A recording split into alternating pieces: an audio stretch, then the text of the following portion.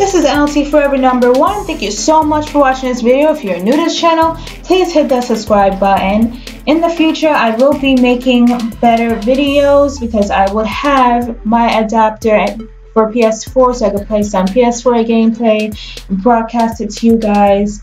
But for now, I am still saving up and saving up because I am broke and I need a job and nobody's hiring me because I'm just a teen. But still, I still want that job. I can't that moolah. Anyways, basically in this video, I just went a little CC shopping. I'm designing my sim to perfection. Usually I don't even do CC because it's not really that important to the game. Maybe it makes it a little bit more interesting. Maybe it doesn't.